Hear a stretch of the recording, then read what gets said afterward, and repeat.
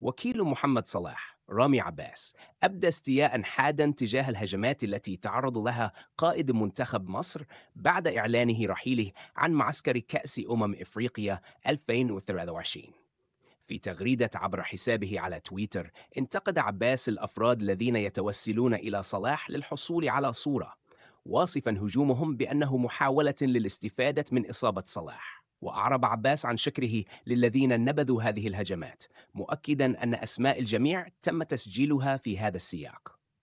وفي رسالة إلى جمهور صلاح طمأن عباس بأن شهرة صلاح لا يمكن أن تتأثر بوسائل التواصل الاجتماعي وأن المؤثرين لن يؤثروا فيها. تأتي تصريحات رامي عباس في سياق إعلان صلاح بدء برنامج العلاج والتأهيل، مع التأكيد على استعداده للعودة للمنتخب في أقرب وقت.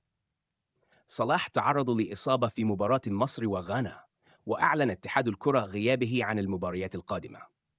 وبعد تصريح كلوب قرر صلاح السفر إلى إنجلترا لاستكمال علاجه. مصدر داخل منتخب مصر كشف عن كواليس رحيل صلاح من معسكر كوت ديفوار حيث أشار إلى توافق مع ليفربول على خروجه بسبب ضعف التجهيزات الطبية في المكان. وفي تصريح آخر أكد كلوب أن عودة صلاح للمنتخب ممكنة إذا كان جاهزا مشددا على ولائه لمصر.